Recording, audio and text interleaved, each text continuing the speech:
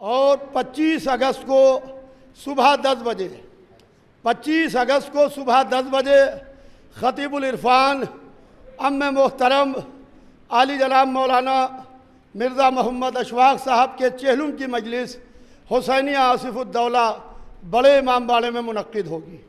اب کوئی تقریر کا محل نہیں ہے، وقت بہت ہو چکا ہے، کیونکہ پورے شہر میں مجلسیں چل رہی تھی آج ایک عظیم الشان آل انڈیا شیعہ پرسلہ بورڈ کا جلسہ خطیب العرفان کی صدارت میں سائنٹیفک کنونشن سنٹر میں منعقد ہونا تھا۔ مگر جب دریا والی مسجد روضہ حضرت ابو الفضل عباس کے سامنے سے گزرے تو رک کے زیارت حضرت عباس پڑھی اور حسن باخر میاں سے کہا کہ بیٹا مجھے حضرت عباس کے روضے کے سامنے سے لے چلو۔ میں زیارت پڑھنا چاہتا ہوں اور گاڑی آگے بڑھی اور وہیں پر خاموش ہو گئے۔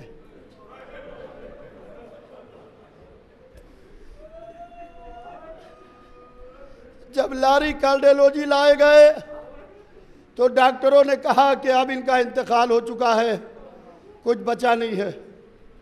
مومن کی روح اس طریقے سے نکل جاتی ہے جیسے پھول سے خوشبو۔ جمعے کا روز تھا، شب شہادت امام علی رضا علیہ السلام تھی۔ ان کو اسی رات جس رات ان کا غسل ہوا، اسی رات ان کو دو مجلسیں خطاب کرنا تھی کل بھی ان کو مجلسوں کو خطاب کرنا تھا اسی شہر میں۔ کثرت سے مجلسوں کو خطاب کرتے تھے۔ میں کس کس کا نام لوں؟ میرے لیے آنے والا ہر شخص محترم ہے۔ تین تین چار چار دن کا سفر طے کر کے علماء کرام ذاکرین حضرات وائزین حضرات مومنین، یہاں تشریف لائے ہیں۔ میں خانوادہ خطیب اکبر اور خطیب العرفان کی جانب سے اپنے آئے ہوئے تمام علماء کرام کا تہ دل سے شکریہ ادا کرتا ہوں۔ میں ایک ایک کا نام نہیں لے سکتا، میرے پاس پوری فہرست ہے۔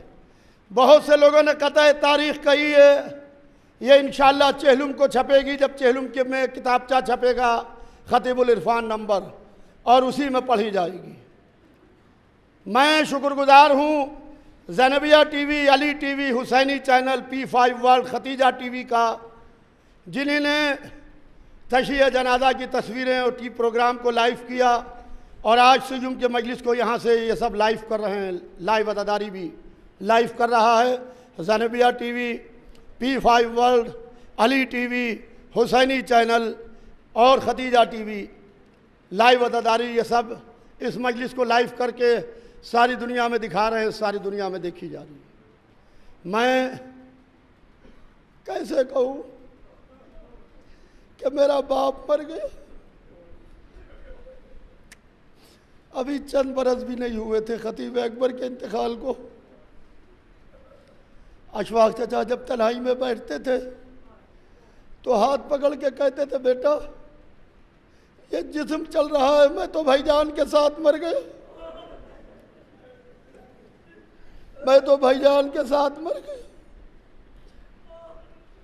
اب ہمارے پورے خانوادے کے لیے ہمارے بھائی ہمارے باپ کی جگہ پر ہے۔ اللہ ان کو سلامت رکھے۔ اللہ ہماری زندگی بھی مولانا اعزاز اثر کے لگ جائے۔ اللہ ہمارے بھائی مرزا محمد فیروز عباس، مرزا محمد ابو طیب کو سلامت رکھنا عزیزان محترم ہم نے یہ فیصلہ لیا۔ ہمارے لیے خطیب اکبر کے بعد گھر کے بڑے خطیب العرفان تھے۔ اب ہمارے گھر کے سب سے بڑے خطیب علی جناب جانشین خطیب اکبر، علی جناب مولانا اعجاز اطہر صاحب ہیں۔ وہ ہمارے گھر کے سربراہ بھی ہیں، ہمارے بڑے بھائی بھی ہیں، ہمارے باپ کی جگہ بھی ہے میں آپ کا ایک ادنا خادم ہوں۔ اس قوم کا ایک ادنا خادم ہوں۔ میں اہل لکھنؤ کا انجمن ہے، ماتمی کا تہ دل سے شکریہ ادا کرتا ہوں کہ تیز بارش میں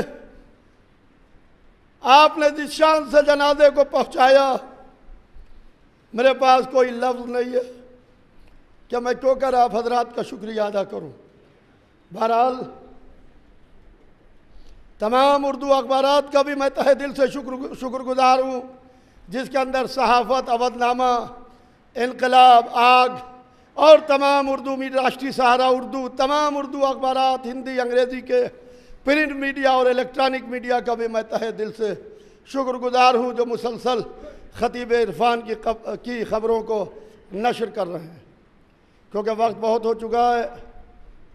اب میں گزارش کروں گا، جانشین خطیب اکبر، عالی جناب مولانا مرزا محمد اعجاز اطہر صاحب سے کہ وہ آئیں اور خطیب العرفان عالی جناب مولانا مرزا محمد اشواق صاحب کی مجلس سیم کو خطاب کریں۔